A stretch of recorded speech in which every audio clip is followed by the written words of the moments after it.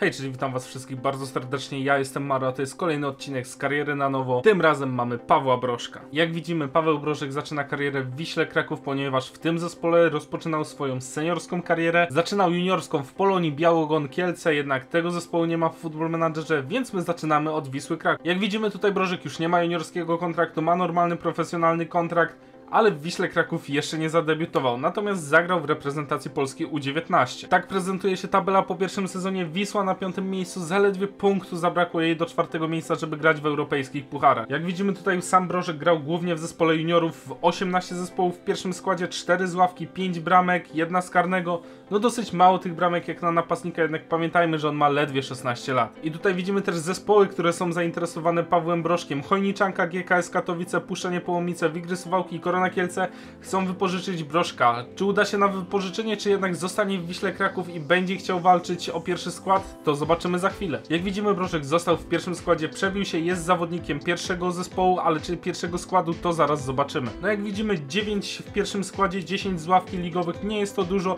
W pucharze rozegrał łącznie 3 mecze, strzelił dwie bramki, 22 występy porówno z ławki i w pierwszym składzie 4 bramki. Jak na juniora nie jest to źle. Tutaj widzimy jeszcze tabelę ekstraklasy. Znowu w Wiśle Kraków nie udało się awansować do europejskich pucharów.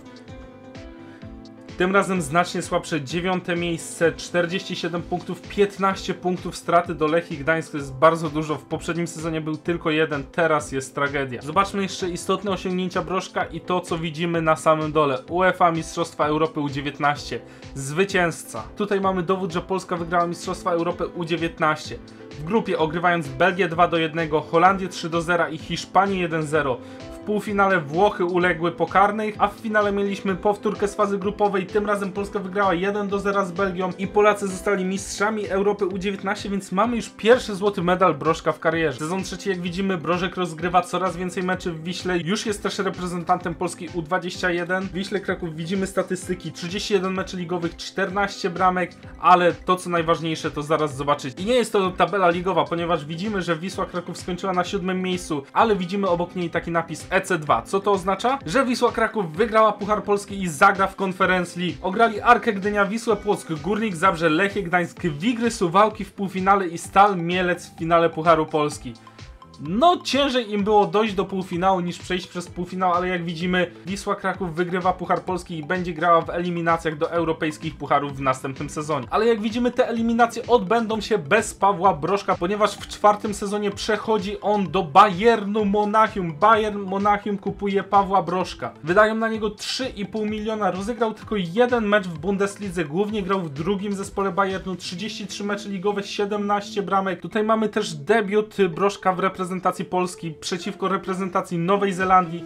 Bramki nie strzelił, ale wyszedł w pierwszym składzie. I tutaj jest tabela Ligi Niemieckiej. Nic dziwnego, Bayern wygrał, to norma. Brożek, no niestety nie przyłożył się, strzelił tylko jedną bramkę, ale może już w następnym sezonie będzie lepiej. Koniec sezonu piątego, wartość Brożka podskoczyła prawie dwukrotnie, ale widzimy, że rozegrał on tylko jeden mecz w Bayernie przez cały sezon. A tabela wygląda w ten sposób. Borussia Dortmund przerywa hegemonię Bayern Monachium i Bayern Monachium jest na drugim miejscu, a Brożek dalej nie gra. Sezon szósty, Brożek już zaczyna coś grać, 17 meczy rozegrał, zobaczymy jak dużo w pierwszym składzie. I zaledwie 7 w pierwszym składzie, 10 z ławki, no Brożek nie jest jak Lewandowski, Brożek nie jest w stanie przebić się do pierwszego składu Bayernu. A pomimo tego pojechał na Mistrzostwa Świata i jak widzimy Polska wyszła z grupy, jednak od razu przegrała z Chorwacją 2 do 4, a Brożek na tych mistrzostwach strzelił 3 bramki. I jak widzimy też Bayern Monachium wrócił na pierwsze miejsce w tabeli, ogromna przewaga 15 punktów nad drugą Borussią Mamy sezon siódmy i widzimy tą wartość Broczka. Ta wartość rośnie, ta wartość jest potężna. Brożek w Bayernie zaczyna coraz więcej grać. 15 meczy w pierwszym składzie, 11 z ławki, 12 bramek. Bayern Monachium znowu z ogromną przewagą, tym razem 24 punktów. Z przewagą 24 punktów wygrywają Ligę Niemiecką, a do tego jak widzimy po karierze Brożka dokładają Puchar Niemiec i to jest kolejna podwójna korona Brożka w Bayernie Monachium. Mamy sezon ósmy, jak widzimy Brożek staje się coraz ważniejszą postacią zarówno w Bayern Monachium, jak i reprezentacji Polski. W tym sezonie rozegrał łącznie 33 spotkania we wszystkich rozgrywkach w barwach Bayernu, 8 razy wchodził do tego z ławki, 16 bramek, nie jest to dużo, ale już gra regularnie. Bayern Monachium tradycyjnie wygrał ligę, tym razem tylko 13 punktów przewagi, a Paweł Brożek znowu pojechał na drugi turniej. Polska świetnie sobie poradziła w grupie, wygrywając wszystkie mecze, jednak od razu po wyjściu przegrała z Belgią, a Brożek na całym turnieju strzelił tylko jedną bramkę. I mamy koniec sezonu 9 i widzimy co tu się wydarzyło. Brożek przeszedł do Liverpoolu. 99 milionów wydał na niego angielski klub. Jak widzimy, był to zimowy transfer, ponieważ w Bayernie zdążył rozegrać 14 spotkań w pierwszym składzie, ale tylko 3 bramki strzelił. To jest zaskakujące, że tak nieskuteczny napastnik został kupiony za tak ogromną kwotę. W Liverpoolu natomiast łącznie rozegrał 8 spotkań ligowych, strzelił 4 bramki. Już jest lepiej, bo w co drugim spotkaniu, nie w co piątym. Bayern natomiast po raz kolejny wygrał Ligę Niemiecką, a Liverpool nie był w stanie zakwalifikować się do Ligi Mistrzów. Nie wiem, czy to był bardzo dobry transfer brosz. Mamy koniec 10 sezonu i już widzimy po liczbie meczy rozegranych dla Liverpoolu, jak ważnym jest on zawodnikiem. Łącznie we wszystkich rozgrywkach rozegrał 38 spotkań, raz wchodził z ławki, 16 bramek strzelił dla Liverpoolu.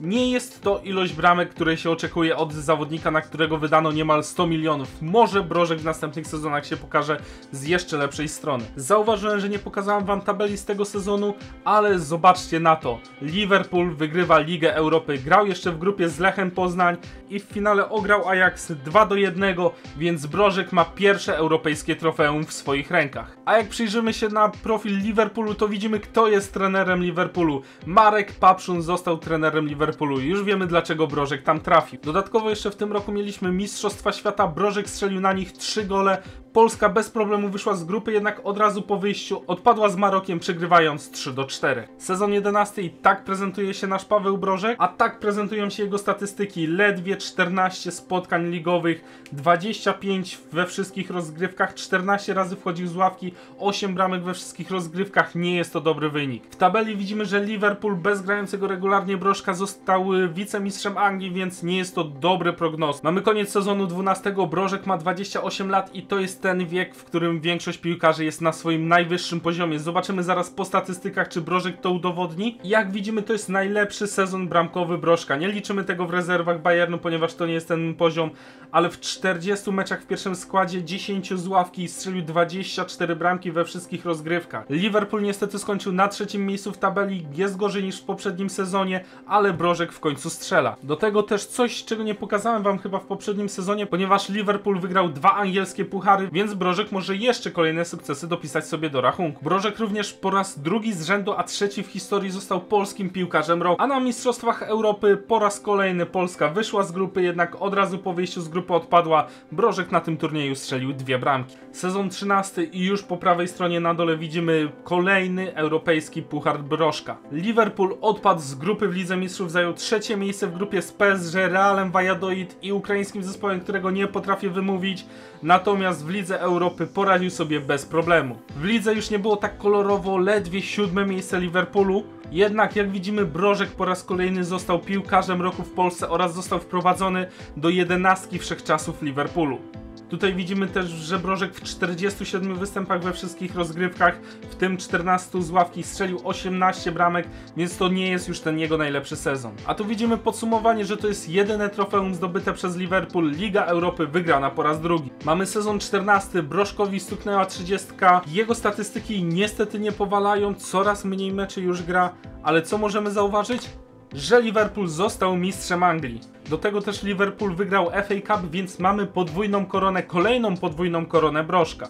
A Brożek po raz kolejny pojechał na wielki turniej. W fazie grupowej Polska zremisowała bezbramkowo z Brazylią, ograła 8 do 0 Uzbekistan, po raz pierwszy przeszła pierwszą rundę po fazie grupowej, ale niestety tuż po tym uległa Hiszpanii z 0 do 3. Brożek na tym turnieju strzelił dwie bramki. Mamy sezon 15, z którego przepraszam, bo nie zrobiłem screena profilu Brożka. Jak widzimy przeszedł on do Juventusu za 53 miliony, znowu transfer zimą. W Liverpoolu rozegrał 5 spotkań, w Juventusie rozegrał 6 Nie jest to dużo, tylko 3 bramki w tym sezonie, ale z Juventusem udało mu się zdobyć Mistrzostwo Włoch. Co też jest bardzo ciekawe, jako że Brożek zagrał w Juventusie U23, dorzucił też złoty medal za drugą ligę włoską. Jednocześnie wygrał Serie A i Serie B. Z nagród indywidualnych widzimy, że Brożek tutaj nic nie osiągnął w tym sezonie, a w sezonie 16 widzimy, że już Brożek zaczął więcej grać w Juventusie. Widzimy, że rozegrał łącznie 29 spotkań we wszystkich rozgrywkach, 12 razy wchodził z ławki, strzelił 10 bramek, a Juventus został mistrzem Włoch. Oraz widzimy, że też wygrali Puchar Włoch, więc to jest kolejna podwójna korona dla Brożka. Jednak w tym sezonie mieliśmy też Mistrzostwa Europy.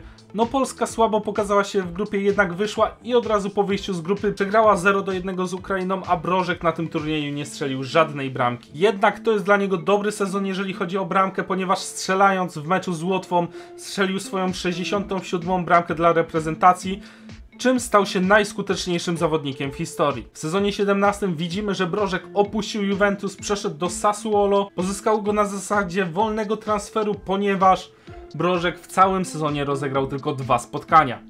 Doliczając do tego 4 ligowe w U23, to jest ledwie 6 spotkań w sezonie i dwie bramki. Z Juventusem na pożegnanie po raz kolejny zdobył Mistrzostwo Włoch, jednak poza tym nie zdobył żadnego trofeum. Sezon 18 widzimy, że Brożek gra w większości spotkań w sezonie, jednak są to głównie wejścia z bramki. 6 spotkań w pierwszym składzie w lidze, 27 z ławki, łącznie w całym sezonie 10 spotkań w pierwszym składzie, 32 z ławki i ledwie 9 bramek. W tabeli Sassuolo skończyło na siódmym miejscu, dzięki czemu zakwalifikowało się do Conference League. A tutaj mieliśmy też Mistrzostwa Świata, na którym Polska zajęła czwarte miejsce, najlepszy wynik Polski w ostatnich naprawdę wielu latach, jednak Brożek po raz kolejny nie strzelił żadnej bramki na dużym turnieju. Po raz kolejny mamy polskiego trenera w karierze Brożka, a trenerem Sassuolo jest Jan Bednarek. Widzimy, że po sezonie 19 skończył się jego kontrakt z Sassuolo, Sassuolo go nie przedłużyło. W całym sezonie rozegrał łącznie 37 spotkań, ale aż 35 z nich było z ławki, więc nie ma co się dziwić, że Sassuolo nie zdecydowało się przedłużać kontraktu. Jednak Brożek może sobie jeszcze jedno, jeszcze jedno trofeum europejskie dopisać. Sassuolo wygrało Conference League, dzięki czemu kończąc na 14 miejscu w tabeli są w stanie zagrać w Lidze Europy. To jest naprawdę zaskakujące.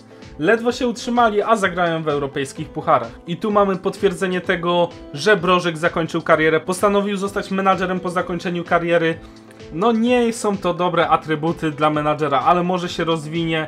Jak widzimy, Wisła Kraków, Bayern Monachium, nie wiem dlaczego U19 jest podany, Liverpool, Juventus, Sassuolo. Kariera naprawdę dobra w reprezentacji, 134 mecze, 73 bramki, naprawdę dobry wynik. A ja mam nadzieję, że odcinek Wam się podobał. Komentujcie, subskrybujcie, wbijajcie na Discorda. Ja się z Wami żegnam, trzymajcie się, cześć!